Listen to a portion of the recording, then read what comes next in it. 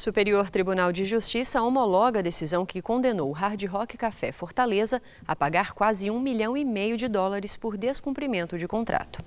A Corte Especial do STJ homologou a sentença do Tribunal Arbitral Internacional, que condenou a empresa HRC Fortaleza Entretenimento, responsável pela operação do restaurante Hard Rock Café na capital cearense, ao pagamento de mais de 1 milhão e 400 mil dólares, devido ao descumprimento de contrato internacional de subfranqueamento. O pedido de homologação foi apresentado pela Perlatop SA, que é a empresa que detém os direitos da franquia Hard Rock no Brasil. E em 2017 firmou com a HRC Fortaleza um contrato de subfranquia para a construção de restaurante da rede internacional.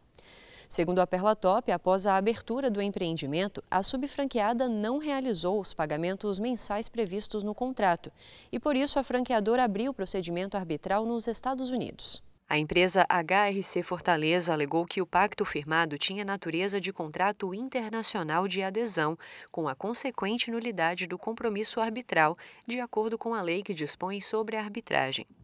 O relator, ministro Francisco Falcão, apontou que o contrato possui cláusula a respeito da convenção de arbitragem e teve seu objeto analisado pelo juízo arbitral nos Estados Unidos.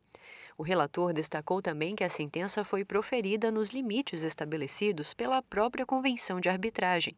e que o pedido de homologação cumpria os demais requisitos previstos no Código de Processo Civil de 2015 e no regimento interno do STJ, em especial a citação regular das partes no processo estrangeiro, a confirmação de trânsito em julgado da sentença e o respeito à soberania brasileira e à dignidade da pessoa humana.